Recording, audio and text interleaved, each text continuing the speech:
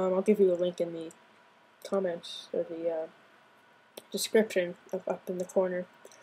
But um, yeah. So um, basically, and then in Time Machine, I have I've never even opened it yet because I haven't done it. But for laptop users, um, you have to have it obviously plugged in every hour, and if you don't, obviously you won't like try and back it up. It'll just I'd probably ask you to plug it in. But so yeah, it's mostly used for um, desktop users, so just have it plugged in. But I I think it's a really good application, you know.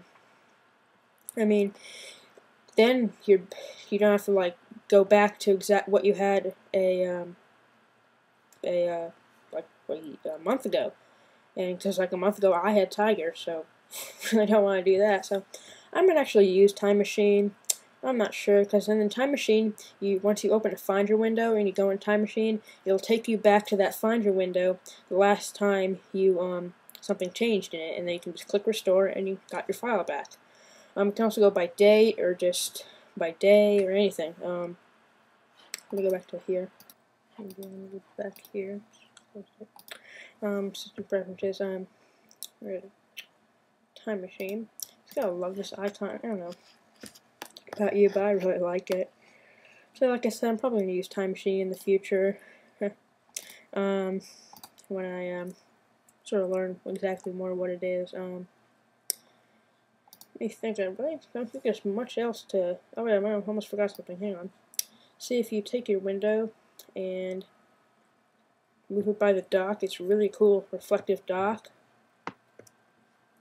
Um, oh yeah, I almost forgot them. There's a really cool new screensavers. Keep going here. Let me see. Now I'm going to drag this to a different space. This one's called Arab Arabesque. I have no spell, spell it, but it's just what it looks like. Um, so uh, you can see on the bottom there I have my a clock, and this is a really cool screensaver.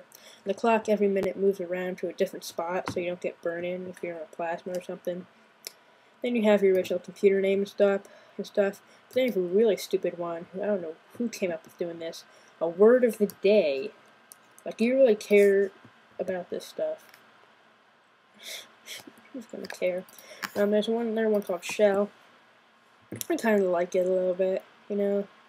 Not as much as that other one I showed you, but you know, this one uh, works.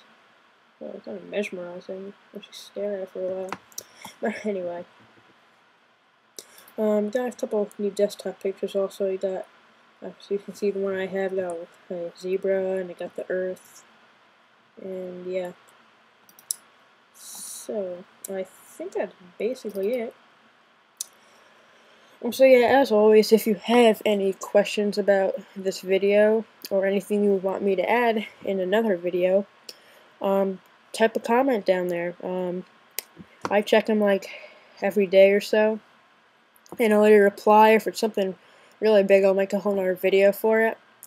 And yeah, thanks for watching. Orange Guitar Guy 118 signing off.